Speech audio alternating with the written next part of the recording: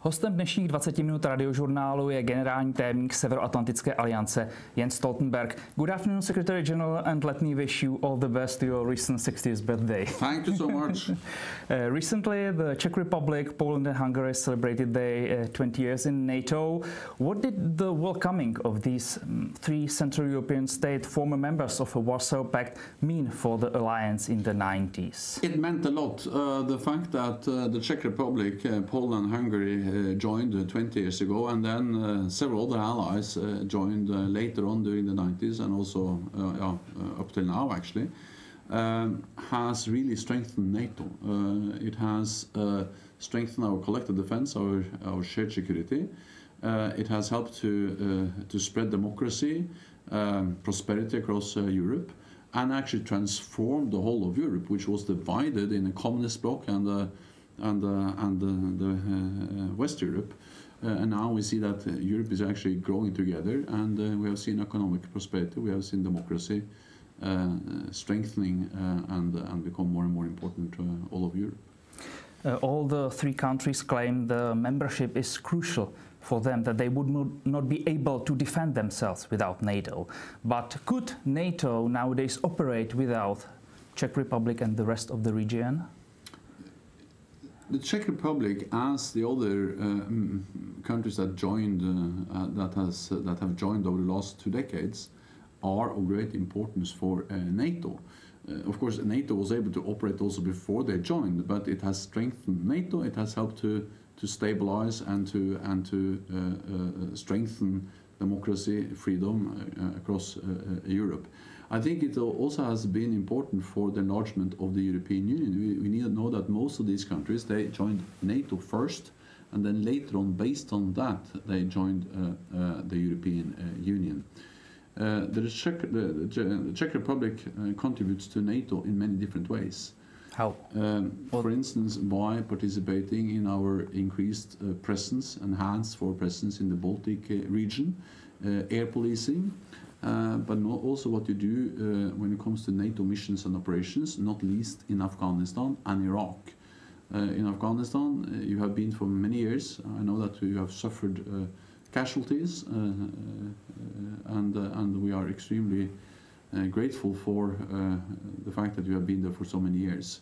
Um, we are also uh, impressed by what uh, the Czech Republic has been doing in uh, Iraq uh, Uh, helping us to train uh, Iraqi forces, uh, especially in the field of maintenance of uh, Soviet-era equipment, enable Iraq, uh, the local forces in Iraq, to fight Daesh, ISIL themselves, and then that's one of the best weapons we have against international terrorism is to have local forces able to fight terrorism. Speaking about the Czech Republic, uh, the last year you collaborated very closely with Czech General Petr Pavel as commander of military committee. How would you evaluate uh, his work for NATO? So General uh, Petr Pavel was a very uh, highly valued uh, chairman of the military committee, and uh, and I appreciated very much working with him. we traveled together, we worked together. he chaired the military committee. And uh, that's just another example of how uh, the Czech Republic contributes, uh, has contributed in many different ways to our alliance. Even though it's said that your personal relationships were not the ideal one, but you both supposedly were not on the same wave, it is true? No, I had a very good uh, working relationship with him, and uh, and uh, we traveled together. And I remember especially we had a very good visit to Afghanistan, uh, which uh, which highlighted the importance of NATO in the fight against terrorism, and also, of course, the the contributions uh, of the Czech Republic to our mission in Afghanistan. Now, NATO is now celebrating um, 70th anniversary. What was the biggest achievement of the alliance during this time? The biggest achievement is that we have been able to preserve peace. Uh, the purpose, the reason why NATO was established was to uh, preserve peace uh, uh and to safeguard freedom. And we have been able to do that uh, for the 12 founding members, but over the last decades for more and more members. You know, we, uh, as late as at the end of the Cold War, NATO had 16 members. Now we have 30 members soon, as we are 29 now, but soon North Macedonia will join. So then it will be 30 members. Uh, and, and, and the biggest success of the alliance has been that we have been able to preserve peace by providing credible deterrence, credible defense. Uh, the purpose of being strong, the purpose of investing our armed forces is not to provoke a conflict, but it is to deter a conflict. And we have to remember that uh, the leaders, the people that uh, created NATO back in 1949, uh, they have lived through uh, two world wars, uh, the First and the Second World War. And for them, it was uh, of paramount importance to prevent anything like that from happen ever again.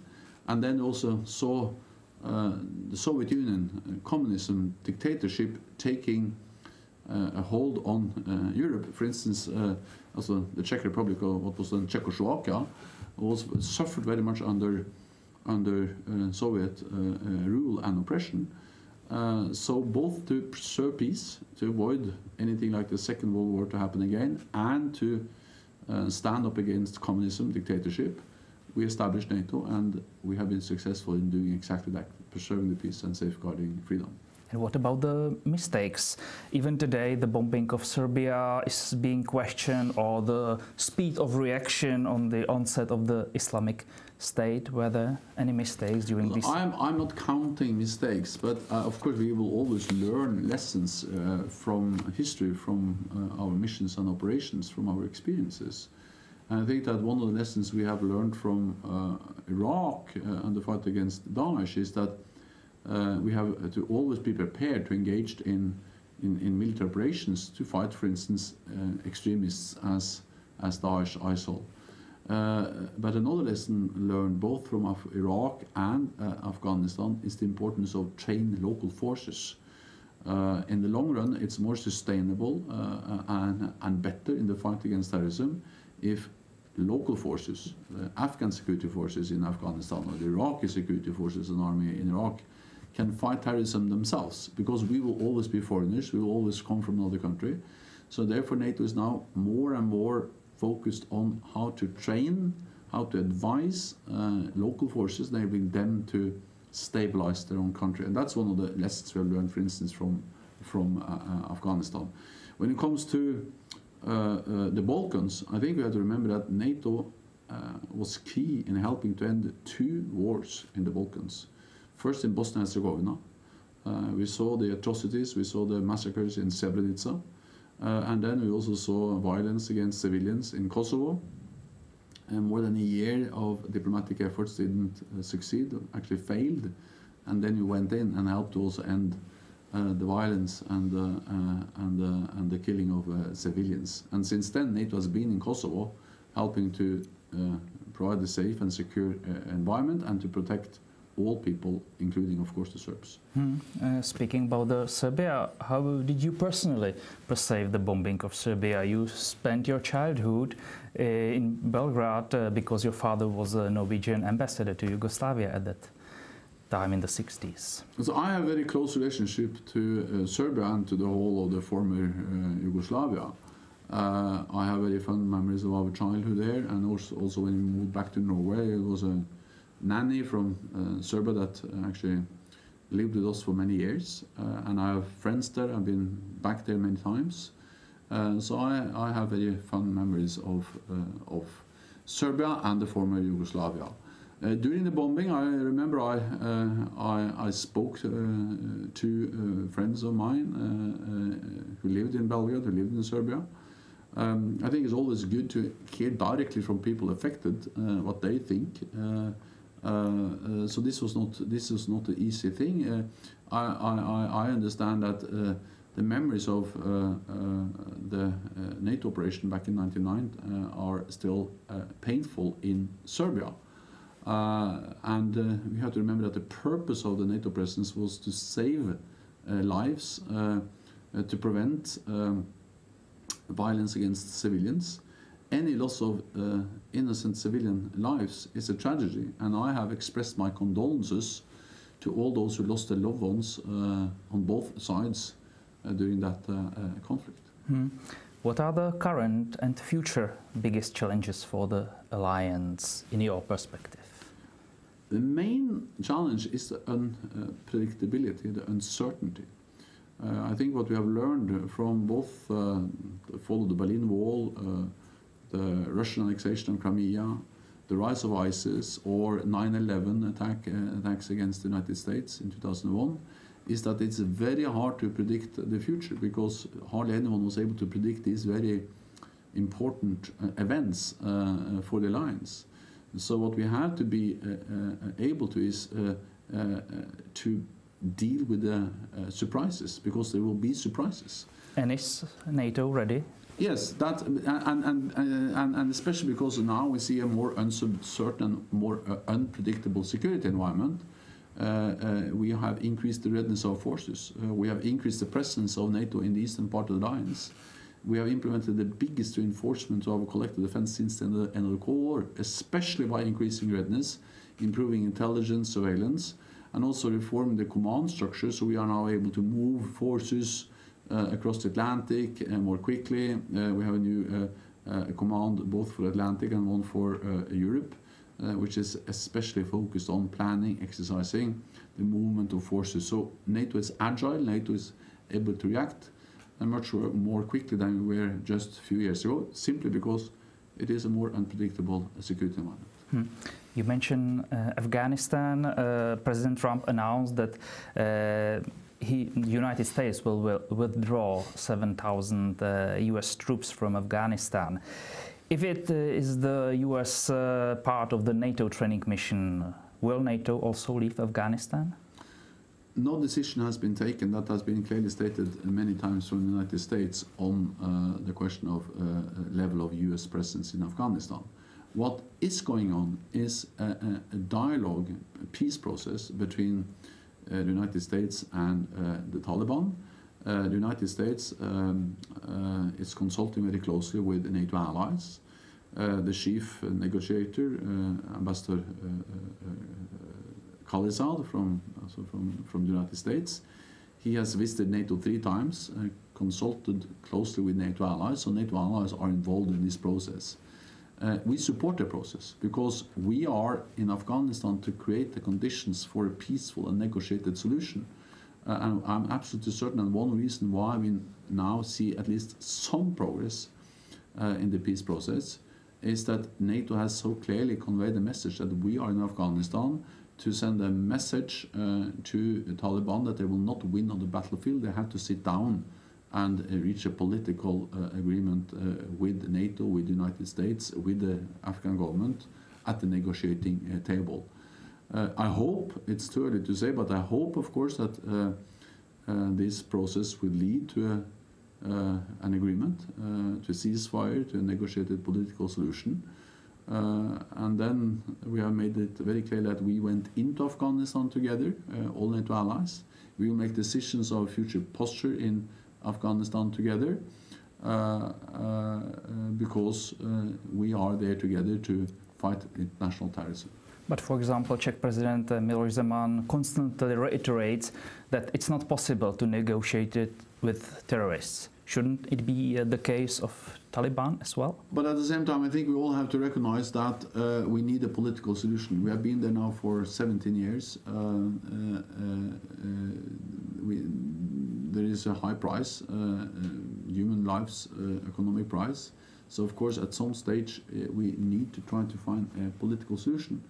But there is a very close link between our military presence, our presence of NATO troops, advisors, trainers in Afghanistan, and our economic support to, to the Afghan army and security force, and the progress on the negotiating table. Because Taliban has to understand that we are committed. We provide. We will Uh, uh, continue to support Afghans uh, until we see a, a deal, uh, until we see a peace deal, and and and that's that's exactly why we continue to stay to create the conditions for negotiated solutions.